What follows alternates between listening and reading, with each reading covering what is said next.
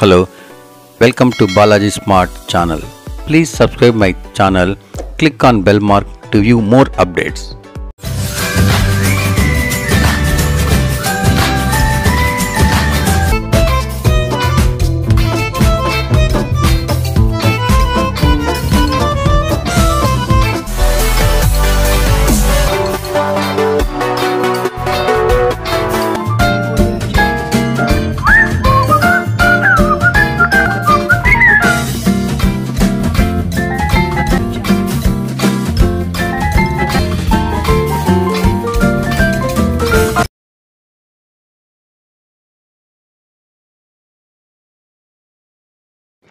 నెల్లికాయ.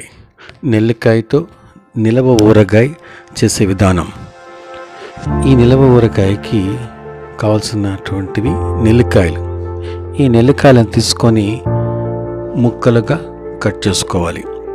సన్న సన్న ముక్కలుగా కట్ చేసుకోవాలి. ముక్కలు అన్నీ కూడా ఒకే సైజులో ఉంటే అది ఊరినప్పుడు కారం పులుపు ఉప్పు అన్నీ సమానంగా పట్టి తినడానికి రుచికరంగా ఉంటుంది.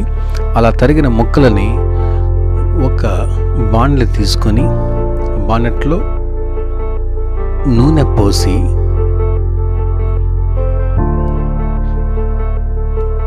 ఆ నూనెలో ఆవాలు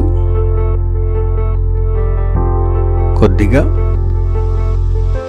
జీలకర్ర కొద్దిగా వేసి అందులోని ఇంగువ ఒక రెండు మూడు స్పూన్లు ఇంగువ వేసుకోవాలి. అలా వేసిన తర్వాత ఆవాలు జీలకర్ర బాగా వేగాక ఇది అంతా కూడా మంట ఎక్కువ మరీ పెట్టకుండా హాఫ్ హీట్లోనే ఇవన్నీ కూడా చేసుకోవాలి. తర్వాత పసుపు వేయాలి. నూనెలోనే పసుపు వేసుకొని ఇవన్నీ కూడా కలిపాక అందులో మనం తరుకున్నటువంటి నెల్లికాయ ముక్కలని నూనెలో వేసుకోవాలి. మొక్కలన్నీ కూడా నూనెలో వేసుకొని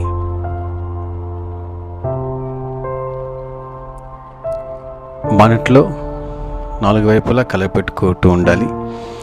ఈ నెల్లికాయ విటమిన్ సి ఇది ఆరోగ్యానికి ఎంతో మంచిది.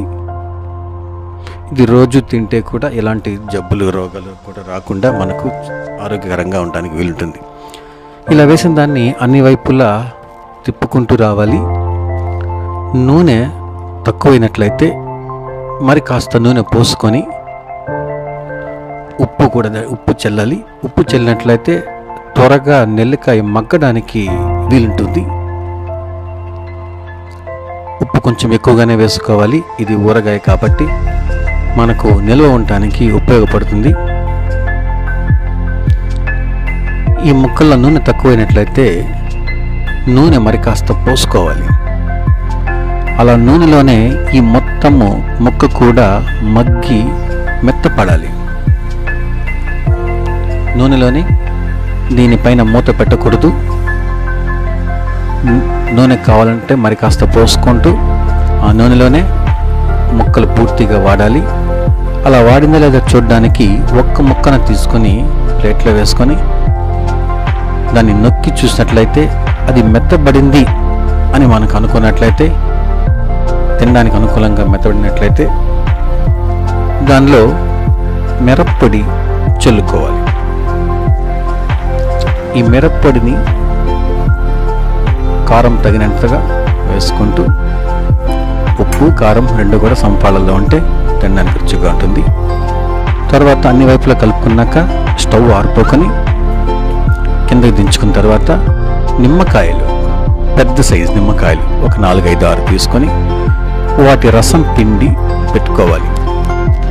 ఆ నిమ్మకాయ రసాన్ని నిమ్మకాయ రసాన్ని అందులో వేసి ఏదైతే వాడినటువంటి నిలకాయ ముక్కులు ఉన్నాయో వాటిలో ఈ నిమ్మ రసాన్ని వేసి నాలుగు వైపులు తిప్పుకుంటూ రావాలి.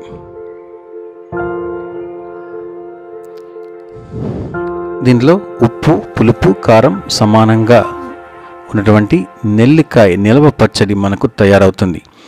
ఇది అన్నంలోనికి కానీ ఏదైనా టిఫిన్లకు నంచుకోవడం కానీ బాగుంటుంది. Thanks for watching my video మరొక మరొక కొత్త వంటతో నెక్స్ట్ వీడియోలో కలుద్దాం. Thank you